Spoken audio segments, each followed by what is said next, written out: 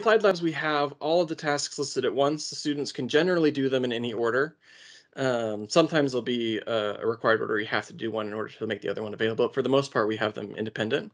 And the students don't get any feedback until they try to do the lab, more like a real world scenario. And so here we have a bunch of things we want to do to this document.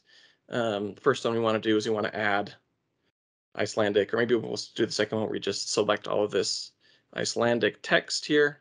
Technically it's Old Norse, but it's the same thing. And then I can come up to the review tab and the languages, and I can set the proofing language to Icelandic.